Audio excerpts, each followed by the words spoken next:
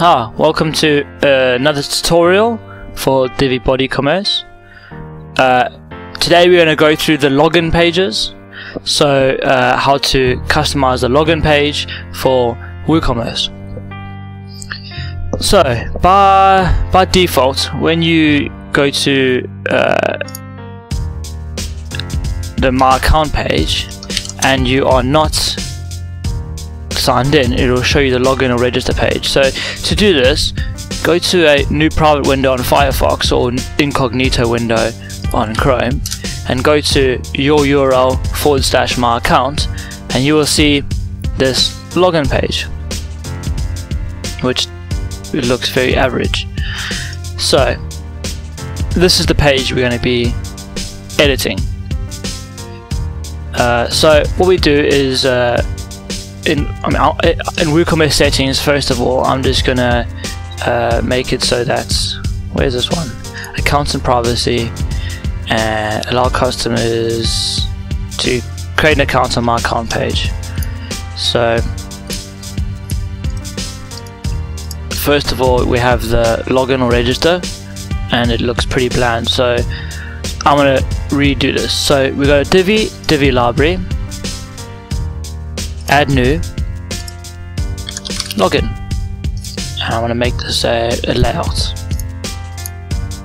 Add it to the BodyCommerce category if you want, or whatever category you make.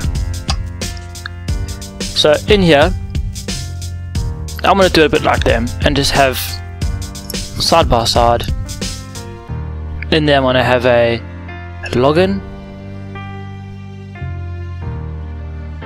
redirected logged in users. So this is more for testing purposes but you can switch this off if you if you uh, if you're testing. But because we're using the private or incognito window this doesn't really matter. And register form. So here we can see oh wait, I need to actually set it.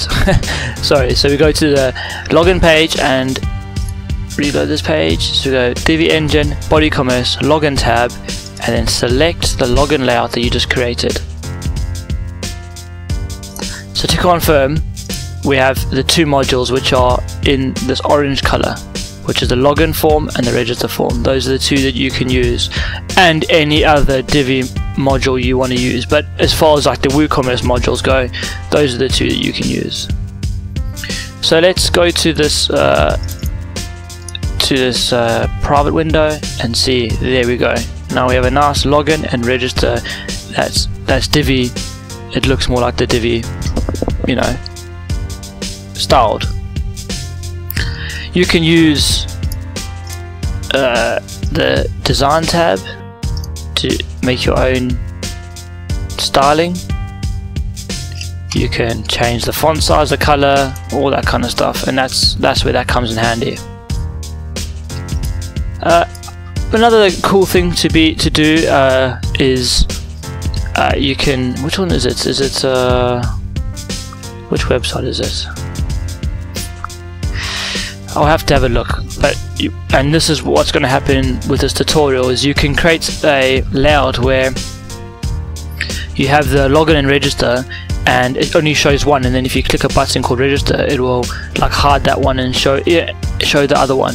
So you can have them both on the same page but make it look like they're on different pages and it, it can look really cool. But this is if you've been watching the videos before I'm going to be creating a, uh, a really like slick looking e-commerce websites and show you how to make it using the using BodyCommerce and that's where I will you know go the next the next step. So that's just a simple step for you how to create the login and register pages uh, well login, login register the login page and add register as well. Uh, and that's just a very simple uh, version of it. I hope this helped. And uh, yeah if you have any questions let me know. Uh, or else uh, yeah I'll see you soon